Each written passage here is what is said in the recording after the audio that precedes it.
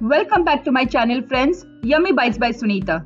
Welcome to baking series part 6. Today I'm going to show you all quick and easy fondant bow topper.